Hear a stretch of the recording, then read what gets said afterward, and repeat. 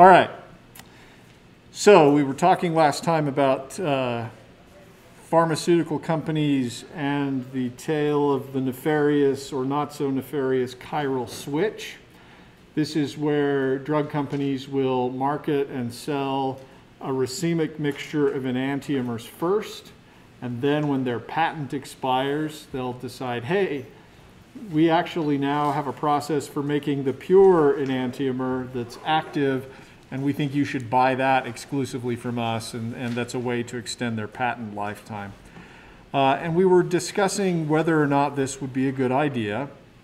And it turns out you can't really tell. It's a case-by-case -case basis. Uh, and, and the reason you, you have to be worried about it is because biology is chiral. So I want to demonstrate to you that two enantiomers might bind the same protein differently. Uh, I, the example that I found for which structure was available was, uh, was a small inhibitor of a bacterial enzyme, and its structure isn't important uh, for us, but just to see that the way they bind to the same protein is different is the point I want to make. So the inhibitor structure is shown in orange for the S enantiomer and purple for the R enantiomer. In the background is uh, the protein with the protein backbone shown as a cartoon and side chains shown as sticks. Uh, for the protein, gray atoms represent carbon, blue is nitrogen, red is oxygen, yellow is sulfur, this weird gold color is bromine. Uh, and for the inhibitor, orange is carbon or purple is carbon, depending on the enantiomer. The little red dots are water molecules. These are from crystal structures where you actually take the protein, put in the inhibitor, grow a crystal, and then shoot x-rays at it. And the x-rays diffract, and then you can do some math to calculate what the structure is. Um, so we can actually overlay both of these images to demonstrate how differently these molecules bind to the protein. The stereo center uh, is right here. Uh, and you can see that in both cases, there is a nitrogen on a six-membered ring that likes to hydrogen bond with uh, what looks like a negatively charged carboxylate group. But once you position that nitrogen there, everything else about the molecule follows. For the R enantiomer, the rest of the molecule juts out to the right, and for the S enantiomer, the rest of the molecule juts out to the left. Notice that by coming out here to the left, our inhibitor gains the ability to form hydrogen bonds between its carboxylate group and a water molecule in the active site and some other side chain nitrogens in the active site. So those two enantiomers experience the protein totally differently. Uh, we can overlay both of those images and you can see how different it really is. Uh, it's as different as right-handed versus left-handed. We talked extensively last time about how a right handshake with another right hand is a diastereomer of a right handshake with a left hand, right? Even though the inhibitor and the protein are not covalently attached together, they are bound with some amount of free energy, and we can call this a non-covalent complex. Between protein and inhibitor. And the protein inhibitor complex on the left is a diastereomer of the protein inhibitor complex on the right. And we'll say it's the S inhibitor versus the versus the R inhibitor. The protein is the same in both slides. The stereo centers in the protein are all the same. The difference is the one stereo center in the inhibitor. If you're the same at if you're different at one, but not all stereocenters, you're diastereomers. So these two complexes are diastereomers of each other, and therefore they have different properties, including biological function. So, um, for example, one of these inhibitors binds better than the other. They did a bind, the authors of the study did a binding experiment. They demonstrated that one bound better than the other and would therefore be a better inhibitor. Uh, similarly, in other contexts, you might expect one enantiomer to maybe bind to a receptor and the other to not bind at all. Or maybe both bind the receptor, but one activates the receptor whereas the other suppresses it. Uh, or maybe they both have similar effects, and it's a case by case basis. It depends on the structure of the molecule and its enantiomer and the structure of the protein that it's interacting with. So it can be quite complicated. Nevertheless, this racemate versus pure enantiomer chiral switch is something that comes up all the time with uh, drugs. Uh, for example, uh, there's a drug called bupropion, which I think was originally prescribed for smoking cessation, but also has antidepressive sort of effects. It's one of the meds I'm on. I'll tell you another story another time, but yay, yay, depression meds. They make life better. Um, in any case, that is sold as a racemate. Uh, and, and there have not been any attempts to sell the pure enantiomer because apparently it doesn't make any difference. All right? So we talked last time about how you would not be surprised if, or even impressed if a sales rep told you, hey, 50 milligrams of the pure stuff is just as good as 100 milligrams of the one-to-one mixture. That's just another way of saying that 100 milligrams of the one-to-one mixture has 50 milligrams of the active enantiomer in a situation where, say, the A isomer was active and the B isomer wasn't. Uh, presumably, the A, the, uh, the neither enantiomer is toxic because presumably they did the clinical trials with the racemate and looked for toxicity, and so they didn't observe anything. So uh, going to just the pure enantiomer shouldn't be a problem. But the question is, does it have a benefit? And in the case of this anti-heartburn drug, um, probably not. Uh, the one benefit was that some people have a mutation in a particular cytochrome P450 enzyme that makes it easier to metabolize one of these versus the other. And so depending on what gene you have, you may it, it, may be better to take the one enantiomer versus the racemate. But it's a subtle difference. And so actually the chiral switch probably failed. To this day, you can go to Costco and you can buy omeprazole or it's pure enantiomer S omeprazole. And the price is about the same because demand for both of them is about the same because they do the same thing and there's not a real benefit for one versus the other. All right. Anything more we need to say about that? I guess the one other situation to worry about um, is the situation where you might try to administer a pure enantiomer, but uh, under biological conditions, that pure enantiomer might equilibrate with its uh, other form. Uh, the classic story here is the one I alluded to last time of thalidomide. So here's the stereocenter of thalidomide, which is, as I, as I, as many of you know, an anti-nausea, anti-emetic drug, uh, has been prescribed for morning sickness in pregnancy. Um, unfortunately, its uh, enantiomer is a teratogen. So you take the same structure and you switch the stereochemistry and you see a dramatic change in function. And uh, lots of research has been done on this. I don't know what structural issues uh, are related to these dramatic differences in effects. But you might say, okay, well, easy, let's just administer this pure enantiomer. We won't use the racemic mixture. But it gets trickier than that, and that is because uh, this proton at the stereocenter is somewhat acidic. Now, it doesn't appear to be acidic now. You'll learn that it's acidic in 352. It's adjacent to a carbonyl, and you can imagine if you drew the conjugate base, that negative charge would be, oops, didn't want to paste the image, paste that.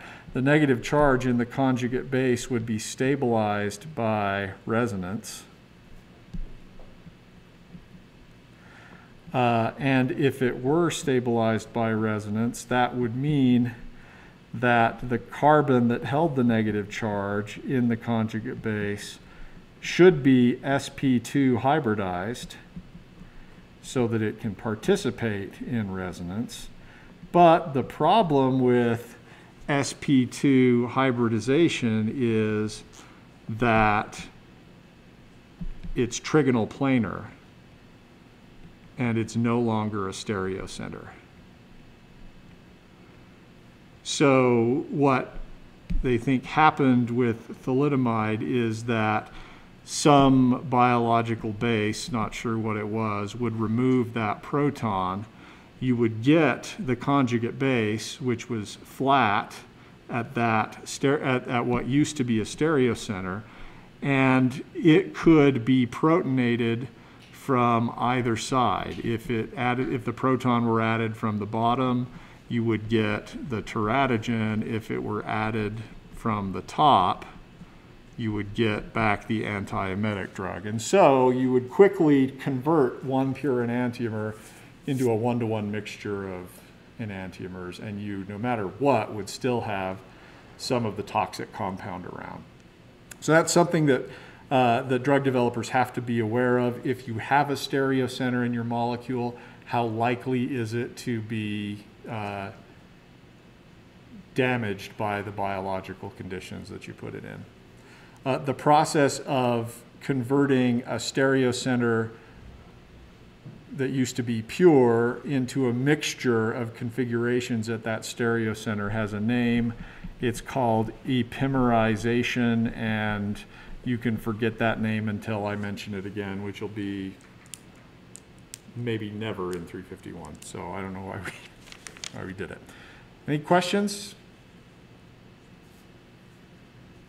Okay, so just think of that at some point in the future when you're prescribing drugs and think sensibly about uh, enantiomers and racemic mixtures and make sure you ask the right questions of the pharmaceutical pill pushers. Um, all right. So uh, there's one other thing I wanted to talk about for stereochemistry. I struggle with this one because I don't do a very good job of explaining it. The study guide and the text take you through it. Um, I tend to make it way too mathy and confuse people. Last last time I spent uh, in the noon lecture, I spent too much time on this and I regretted it immediately afterwards. But I'm afraid if I don't, you're going to encounter problems like this on standardized exams in your future, perhaps MCAT and DAT, and they do want you to know how to approach them. Uh, I will say if I make it too complicated, it's not as complicated as you think. So I've shown you this horrible structure of a molecule called quinine. It's an anti-malarial drug. And uh, it is chiral. It's got uh, some stereocenters. For example, this is a stereocenter. Uh, this is a stereo center. And actually, probably this nitrogen's a stereo center too, but we'll just ignore it. Uh, and then this is a stereo center, as is that. You get them all, basically. Um, molecules that are chiral have an interesting property. That is, they can rotate plane polarized light. So many of you have had experience with polarized sunglasses. You wear them to get rid of glare. If you've been to a 3D movie, uh, in many cases, the glasses they give you have polarized lenses, one polarized in one direction and the other polarized in this direction. Um, I made the mistake of going to see The Last Jedi in 3D a couple of years ago, and because polarization eliminates some of the light coming to your eyes, the screen was actually quite dim. I didn't even know that Admiral Holdo had purple hair because you couldn't tell differences between colors. Uh, in any case, if you ever tried to take two polarization uh, lenses and hold them at 90 degrees to each other and it blocks out some of the light, a polarizing filter takes all the photons that are passing through it and it weeds out any that are not oscillating in the in the same direction. Where uh, so a photon is uh, we can think of light as a wave uh, that is oscillating in uh, an electric field and a magnetic field. Uh, so when light is polarized, its EM field is oscillating all in the same direction. Each photon, say the electric field is oscillating up or down, but not side to side. So that's polarized light. Uh, and you can make polarized light by passing light through a polarizing filter, and I'm not sure how they work. But then if you take that polarized light and you pass it through a chiral sample, say a solution of chiral molecules, uh, it turns out that once the light gets out of the sample, you observe that uh, it has rotated. Um, and you can actually measure the angle of rotation from where it used to be to where the plane of polarization is now. You can measure that angle with an instrument called a polarimeter, and that angle of rotation is called alpha, or optical rotation. Um, so it turns out you can use this alpha number as a way to analyze which enantiomer of a substance you have and how much of the pure substance you have. Uh, so the optical rotation for a pure sample of quinine is plus 165. Um, I will point out that plus is either clockwise or counterclockwise. I forget, but you've got plus rotation and minus rotation. There is no correlation whatsoever between a stereocenter being R or S and whether that molecule rotates right-handed or left-handed, clockwise or counterclockwise. There's no correlation whatsoever. And in terms of the physics that explain how this happens, uh, we're just going to put physics with an exclamation point and we're going to leave it at that. So uh, the alpha value is how much the polarization plane has changed after it goes through the sample. All right. Question so far about what you need to know versus what not to care about? So suppose I had a sample that was a mixture of quinine and its enantiomer, which I'm going to call enantioquinine. Enantiomers rotate light to the same extent but in opposite directions. So enantioquinine's optical rotation would be negative 165 degrees. The other interesting thing is that the optical rotation is additive. So if I have a solution that is 50% quinine plus 50% enantioquinine, the observed rotation is zero. How does that happen? Well, the 50% of the mixture that is quinine will rotate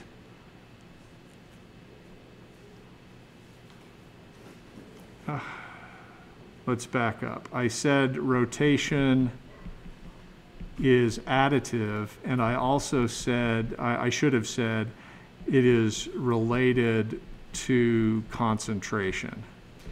So in other words, if I have a sample that's twice as concentrated as another sample, it will rotate. Uh, if I have two solutions of quinine, one is one molar and the other is two molar, the two molar solution is going to rotate by twice as much as the one molar solution. So because of that, if you have a 50-50 mixture of enantiomers, what this does for you is uh, the quinine, which is 50% of the total, rotates by 165 degrees times 50%.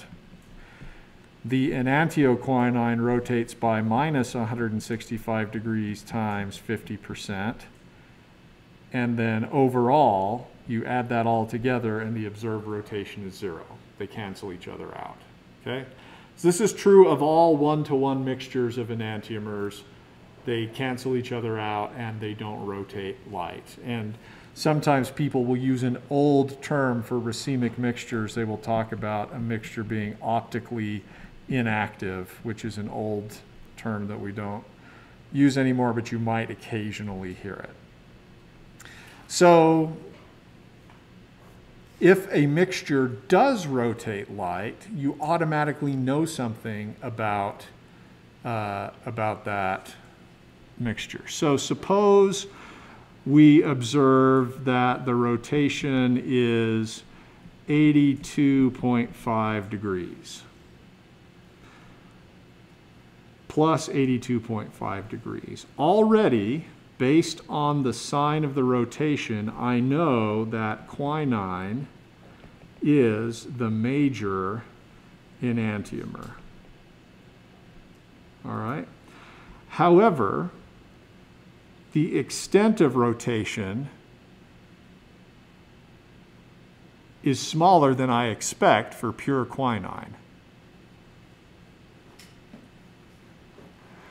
So, uh, and, and George at home is asking, uh, yes, tabulated alpha values are at a standard concentration, otherwise you can't compare them. Uh, and Levi, you mentioned that if we had a greater concentration of quinine than enantioquinine, then the angle would have to be greater than zero degrees, yes. Um, so by observing the sign of this rotation in our unknown mixture, plus, it being positive, then we know because quinine rotates by plus 165 that quinine must be the major enantiomer. Now, the observed rotation divided by the expected alpha for the pure enantiomer here is 82.5 divided by 165. I chose the numbers deliberately so that I can do the math, and that equals 50%. So this mixture only rotates 50% as much as is expected. There's only two ways for that to happen. First, it could be the pure enantiomer, but only be 50% as concentrated as I, as I expect. So maybe I made that mistake. Or it could be a mixture of enantiomers. 50% of the mixture is one is the pure enantiomer, and the other 50% is one-to-one -one mixture. Remember how I said that one-to-one -one mixtures are optically inactive? If I have a solution that is 75% quinine and 25% enantioquinine. Then 25% enantioquinine cancels out 25% of regular quinine, and that becomes your one to one optically inactive rotation equals zero. And then the remaining 50% of quinine is what can rotate, and that's what gives us the 82 and a half degrees of rotation. Okay? That's the qualitative way of going through it that is as not mathy as possible. Uh, there are a couple other ways to do this. Um, and if you want, I can show you. Uh, Sierra, you're asking, do we know that quinine is the major enantiomer because I told you? Not only that, but because of the sign of the observed rotation in our unknown mixture compared to the sign of the expected rotation for the pure major, for the pure quinine. Right? Other questions? So I don't want to beat uh, this too hard, given that it's uh, not crazy important. Organic chemists use this.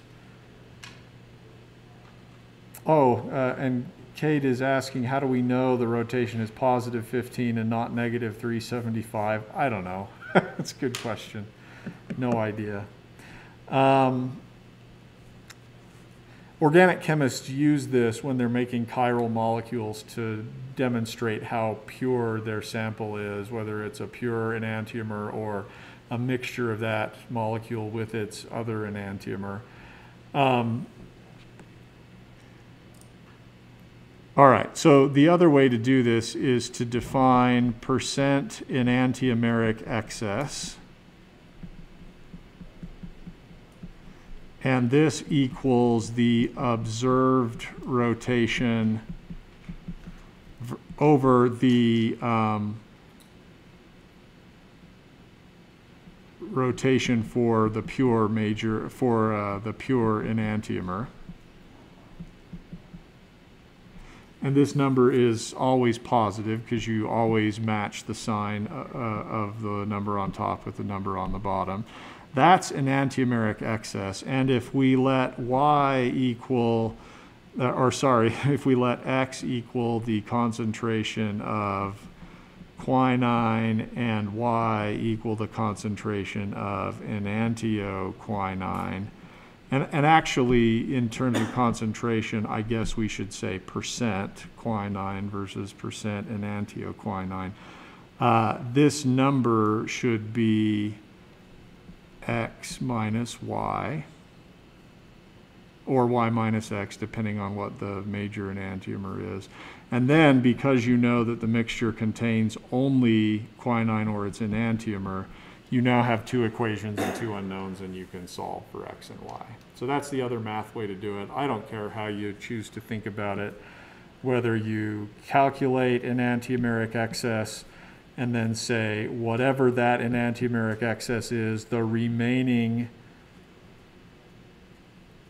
percent of what's in solution is a one-to-one mixture of enantiomers and calculate it that way. Either way is fine. All right, and yeah, the, the expected value for quinine was just determined experimentally. Uh, it's from your book. All right, other, other questions? I'm sort of bored to tears explaining it to you, uh, but, but questions do come up. Uh, and so I just want you to be prepared to deal with them. All right, anything else? So um, now we're going to jump into reactions.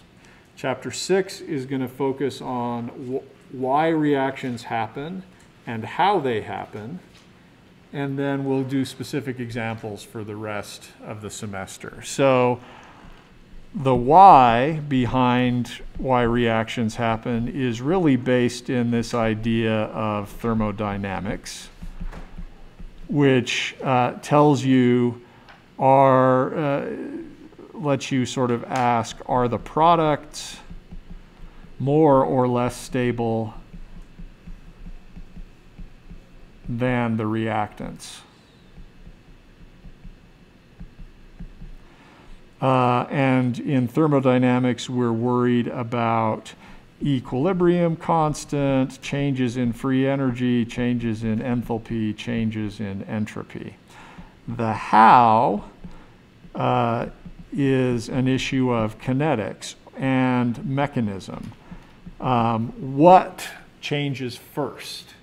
Which bond is formed or broken first? Then what happens? Does it all happen at once? or is one before the other? Are there any intermediates? If so, how long do they last? And both of these issues are going to be important uh, for understanding not only the reactions we'll talk about, but also understanding uh, biochemistry. So uh, it may be worth just a little bit of review from Gen Chem. I it will seem boring, and uh, that's okay. The principles are important. Uh, you remember the relationship between free energy and equilibrium constant. That is, if equilibrium constant is greater than one, meaning products are favored, free energy's got to be negative, right?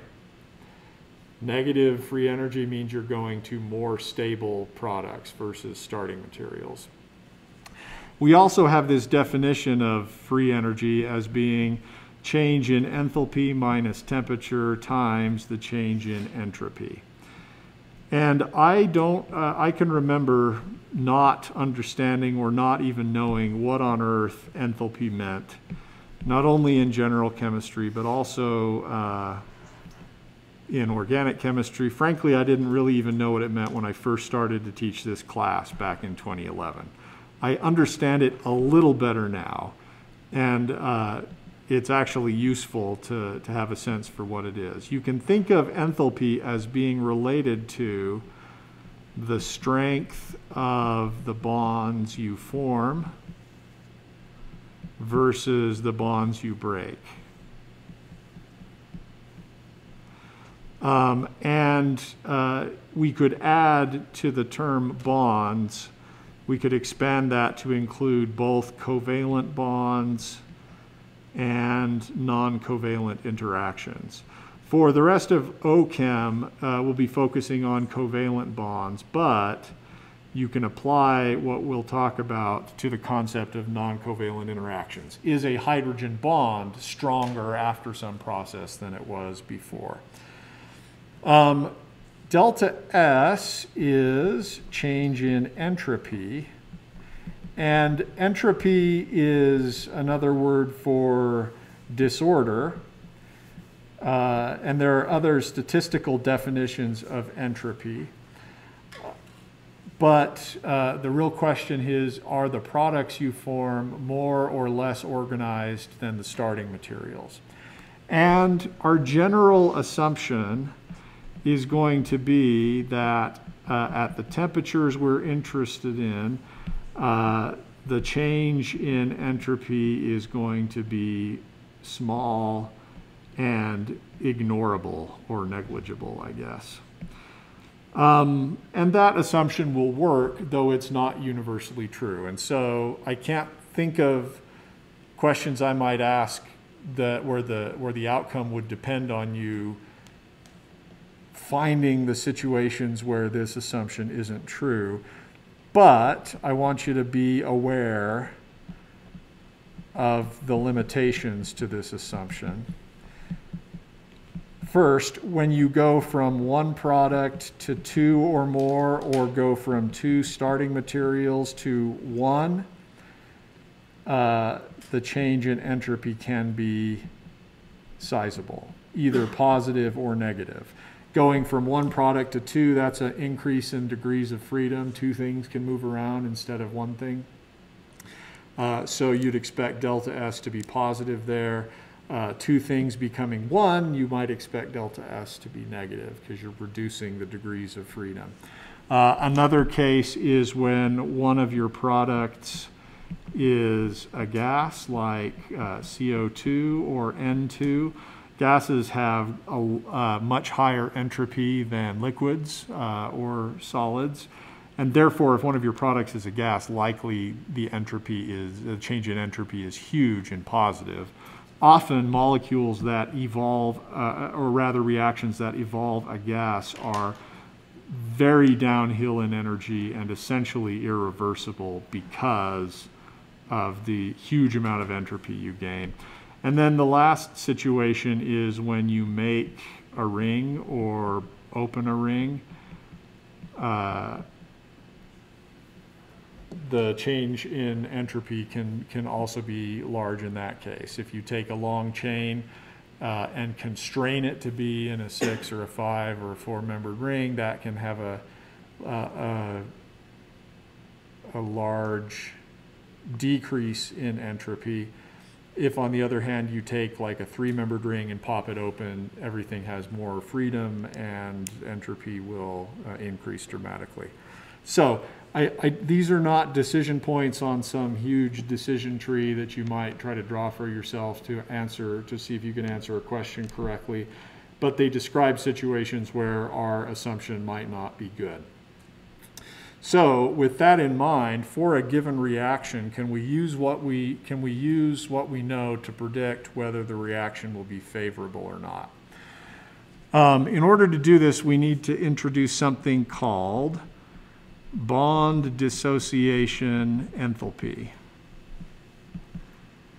Uh, these are tabulated values. Some of them are in tables in your text in chapter 6, others are in Appendix A. And this is the change in enthalpy for the reaction where you take a molecule, you take a bond, uh, and you break it apart in, in a homolytic fashion, that is, each partner in that bond gets one of the two electrons in the bond, and they are separated at infinite distance. And that's the bond dissociation enthalpy. If you measure delta H for this reaction, uh, it would be 105 basically kilocalories per mole. Your text may use kilojoules per mole. There's about four kilojoules to a kilocalorie. Either unit is acceptable. Um, this difference in energy is basically what we were talking about back when we were saying that when you mix two 1s orbitals together to get a sigma bonding orbital and a sigma star anti-bonding orbital, and the two electrons from hydrogen go into that bonding orbital, this energy difference here is basically the bond dissociation enthalpy, or 105 kilocalories per mole. That's how much energy it takes to promote these electrons back up to the non-bonding orbitals they were in. Yeah? For enthalpy, we've always kind of learned that it was associated with heat, and so is the correct way to think about it, like, it's the heat in the bond?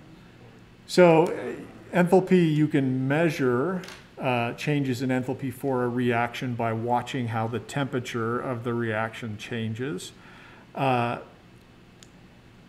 and if you were to go in the opposite direction, take these two hydrogens and link them together, that is the amount of heat that would be released. Yeah. Um, processes that have positive enthalpies, that means you would have to absorb heat or energy to break the bond, right?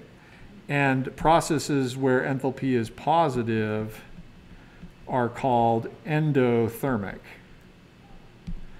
Uh, and you may have uh, encountered endothermic processes before. Uh, in the lab, for example, if you mix uh, some organic solvents with water, like acetonitrile and water, it gets cold because the heat of mixing is endothermic. There are other processes where delta H is negative, and those are called exothermic. And exothermic reactions are behind those little pouches that you put in your gloves when you're skiing on a cold day to keep your hands warm. It's an exothermic reaction that's going. Somehow you're forming new, new bonds that are more stable than the bonds you're breaking, and that energy is released in the form of heat. Um, all right. You okay so far? So let's use the numbers to make a prediction for a reaction. And I haven't chosen, I guess, a very simple example um, because in order to get this one right, we really need not only information about the bonds, but also information about the negatively charged molecules on either side of the equation. I'm showing you uh, an elimination reaction.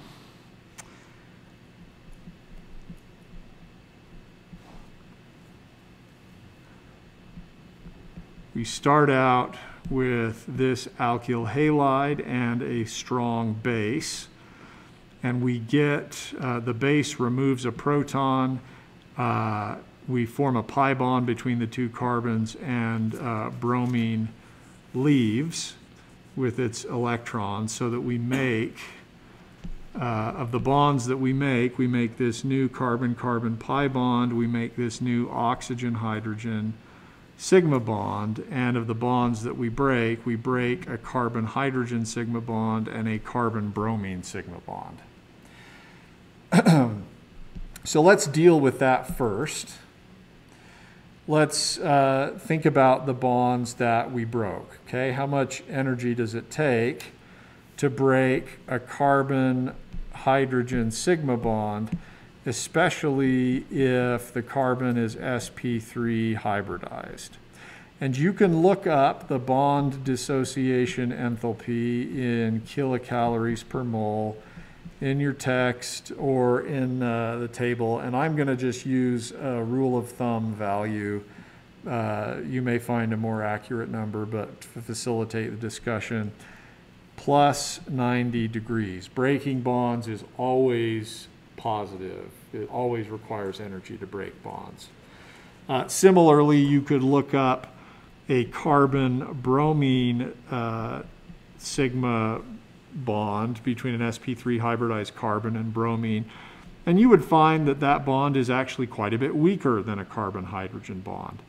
We've talked maybe about why that's the case. It has to do with the fact that carbon and hydrogen are closer in energy than carbon and bromine also has to do with the fact that bromine is bigger and the carbon-bromine bond is longer than the carbon-hydrogen bond. But in any case, those are the two bonds that we break. Now, if we come and we reflect on the bond dissociation enthalpies of the bonds that we make, let's see, we make a new oxygen-hydrogen bond and that uh, tends to be around 100 kilocalories per mole. And then we make a carbon-carbon pi bond.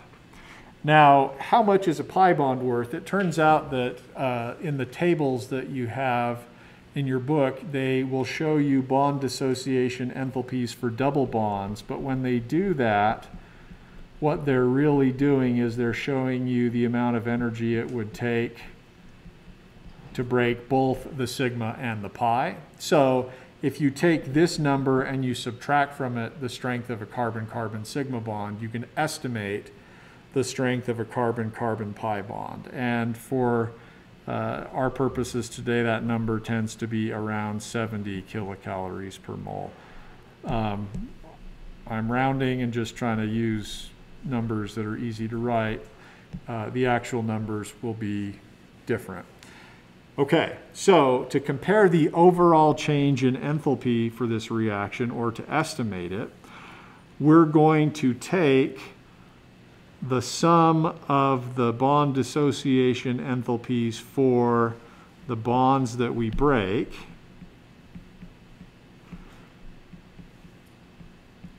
bond dissociation enthalpy of bonds broken. We're going to add them up, so we'll use the capital sigma for adding a sum. And then we're going to subtract the sum of the bond dissociation enthalpies for the bonds that we form. Why do we subtract? Because forming bonds releases energy, but bond dissociation enthalpies are all calculated for breaking the bond. All right, so let's do the sums and then we can do the subtraction. 90 and 60 is 150. 170 over here. So 150 minus 170 is negative 20 kilocalories per mole. So we expect this to be downhill in energy, exothermic.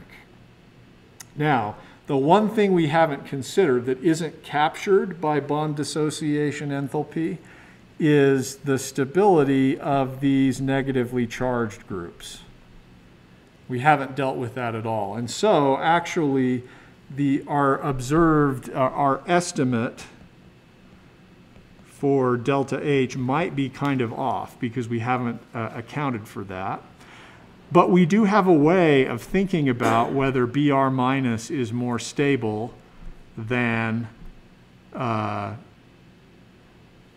the negatively charged oxygen. And that way is simply pKa, which we did in chapter 2. The pKa of the conjugate acid of HBr is like minus 9, uh, which indicates that Br itself on its own is very stable. The pKa for the conjugate acid of this alkoxide is uh, actually, you would think it would be around uh, 16. It's actually a little bit higher, 19, for reasons that don't matter to our discussion. But basically, Br minus uh, is um, 10 to the 28 times more, well, Br minus is way more stable than the negatively charged molecule. So probably this uh, reaction is downhill in energy even more.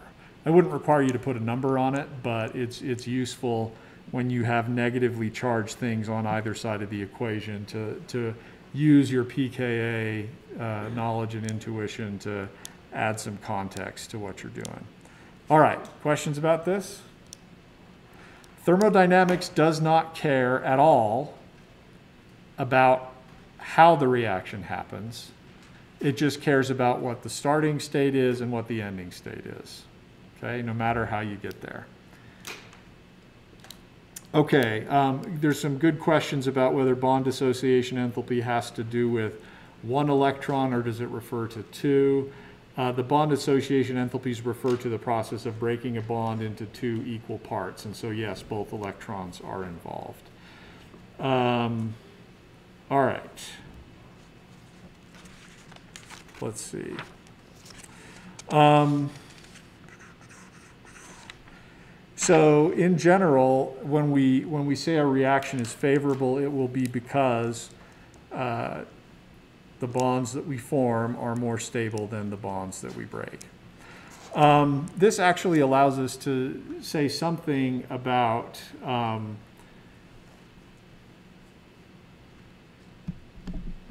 something you may have heard before in a biology class.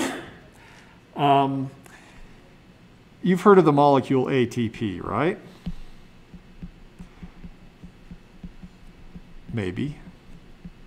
And you may have heard someone tell you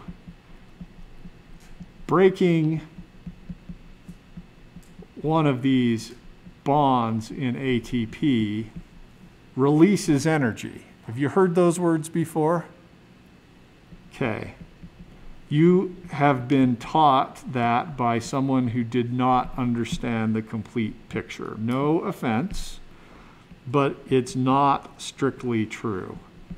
Because, as we've just pointed out, breaking bonds always requires energy, not the other way around. So this is ATP.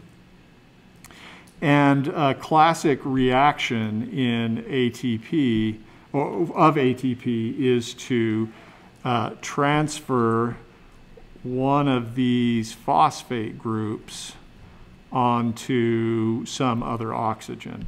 For example, the first step in glycolysis involves transfer of that phosphate group onto this OH group of glucose. Uh, we and uh, I don't think I probably have the time to draw you both of the products, but I will try anyway. um, the bond that you're breaking in going uh, from ATP to ADP is this bond right here. That's called a phosphoanhydride bond, but breaking a bond never, ever, ever, ever, ever, ever, ever releases energy. However, breaking a bond and replacing it with a more stable bond can release energy. All right, so the first step in glycolysis replaces a phosphoanhydride bond with a more stable phosphoester bond. This bond is more stable. This bond is less. Apple Pencil battery is low, less stable. So overall, it's downhill in energy. It's not that ATP randomly flies apart and there's a big explosion and fire and energy is released. No. It's that the bonds you form are more stable than the bonds you broke. Okay? So, please please end that wicked tradition of your fathers and transfer to your children and their children and their children's children that breaking bonds does not release energy. And, and we'll all be better off as a nation and as a world. I, I, need some, I need some background music, perhaps Battle Hymn of the Republic as I get on my soup, soapbox. Soup box, that's not a thing. All right, we'll see you next time.